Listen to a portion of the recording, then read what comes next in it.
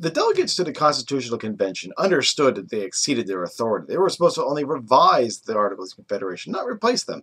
So they had two insurance policies. Number one, we already talked about George Washington being the Constitutional Convention president. Get his signature, and you are you are pretty safe when it comes to that. Uh, but in in addition to that, we're going to have the ratification uh, requirements. Remember in the Articles of Confederation, it required every single state to vote yes for ratification, whether it be to be included into the, the Articles of Confederation government or to change the Articles of Confederation. The Constitution is different. The Constitution only requires three-fourths of the, of the states to ratify. Uh, still, a very hard thing to do, uh, but it's not impossible like, uh, like it was under the Articles of Confederation. So if three-fourths of the states ratified the Constitution, it would go into effect. Uh, if three-fourths of the states did not, then the Articles of Confederation would still be in effect. So they kind of had like a get-out-of-jail-free card. But nonetheless, after the, the final copy is signed, the founders brought the Constitution to the Congress. And Congress knew two things. Number one, it went too far. Uh, when it came to its mandate. And number two, uh, its own powerless to stop it. Uh, they had little choice but to accept the changes. It also helps that a third of the members uh, of the of the Congress were part of the, con the convention.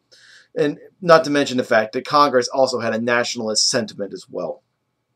But the publication of the, of the Constitution is going to spark a massive debate throughout the United States. And the nation is going to be split between those that favored it and those that didn't. Those that favored federal, the, the Constitution are going to be known as the Federalists whereas the those that opposed it are going to be called the anti-federalists. Now, the federal the, it's ironic because the Federalists, uh, when it comes to their their views, uh, they use the name to deflect charges uh, that they favored an excessive centralization of political authority. The Anti-Federalists are going to support a state-centered sovereignty, and it's the name is going to be ironic because they were the ones who actually believed in a federalist type of government, a federal type of government. The Federalists, however, have a massive advantage. Number one, they're they're going for something. You, it's easier to be successful politically if you're for something rather than against something. And the Federalists also are going to have the strongholds. They're going to have the newspapers, the pamphlets, and they're going to have speeches. They're going to be far more organized.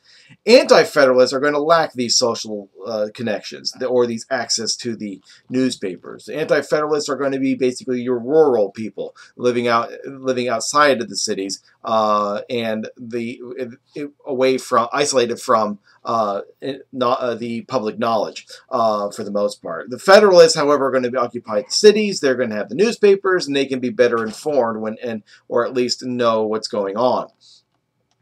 Uh, the Federalists were going to believe, they're going, sorry, the Anti-Federalists believed that the Constitution would create a tyrannical republic because it was far too distant and too removed from the interests of common sense, I'm sorry, common citizen farmers. And there's some notables, uh, Elbridge Gerry, where we get And gerrymandering from. Uh, George Mason, we've talked about him, and a man named Edmund Randolph. The Federalists are also going to use the crises of 1786 to advance their arguments. They especially are going to use the Shays Rebellion uh, as a reason why the Articles of Confederation need to be replaced. So the uh, they're going to use that to great to their advantage. The Federalists are going to move quickly to prevent their opposition from organizing effectively. The Constitution is finalized in September, and the first constitutional conventions are going to meet in December.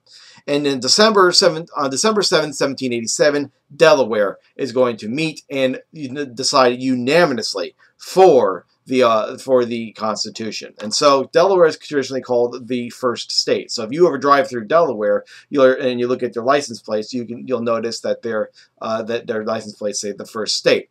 Uh, if you remember back at the turn of the 21st century, you also have a statehood quarters. Uh, and the first quarter that, comes out in 1999 is Delaware, and they did in order of the states coming into the Union.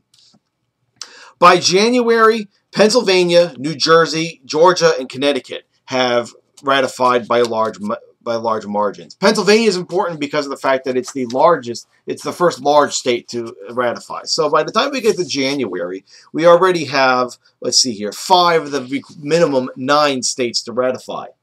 Uh, Pennsylvania is also easily, easily goes uh, into the Federalist camp because Philadelphia is a Federalist stronghold. The next month, February, we get Massachusetts, and Massachusetts, and one of the part in one of the strongest anti-Federalists presence was uh was John Hancock, and the Federalists would, would have to use Samuel Adams to to uh, to convince John Hancock from, uh, to support uh, the Constitution, and, and, they are going to appeal to Hancock's uh, vanity. They're going to say, "Look, we know that George Washington is going to be president of the United States, but."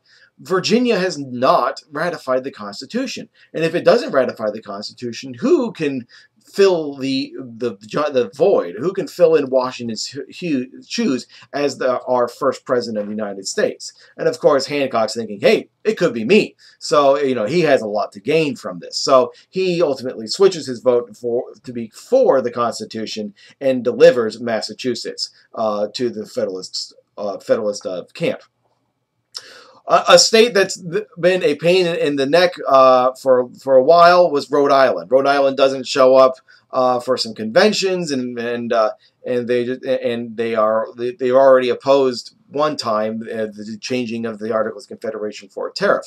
Well, Rhode Island not only does not have a, uh, ratified the Constitution, it doesn't. It, it does. It holds. it rejects uh, having a convention to decide ratification. So it doesn't even, so it rejects the convention, much less the ratification of it. Uh, but nonetheless, by April and May, Maryland and South Carolina have ratified. And although we could, we don't, the the, art, the Constitution could be a, could have been ratified without the states in New York and Virginia. Uh, they're crucial. New York is strategically located, and Virginia is the most populous state.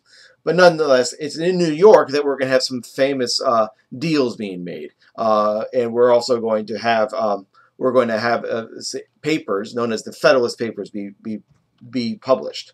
Uh, in, in, New York, the Federalists are going to say, you know what, we're going to have a Bill of Rights. You don't like what this Constitution says because it tells you what what doesn't tell you what the limits of this new government's going to be. That fine, we'll do, we'll we'll make a Bill of Rights to clearly show where the federal